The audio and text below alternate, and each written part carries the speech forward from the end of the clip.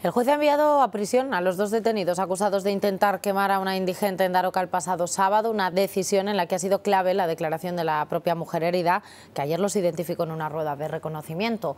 El abogado de la defensa asegura que la víctima incurrió en múltiples contradicciones han pasado su primera noche en Zuera, acusados de supuestamente intentar prender fuego a una mujer que vivía en la calle en Daroca.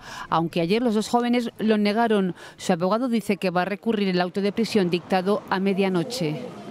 Nos hemos encontrado ante un atestado que está fundamentado en una declaración de una persona que eh, tiene un trastorno de personalidad profundo ¿eh? y que desde luego ha incurrido en múltiples contradicciones. Contradicciones, según el abogado, en la declaración de la mujer, porque la descripción que dio no coincide con la de los dos acusados, y en la rueda de reconocimiento, porque víctima y acusados tuvieron contacto visual minutos antes en el propio cuartel. Hasta tal punto que tengo la absoluta certeza de que mis clientes no han participado para nada en los hechos.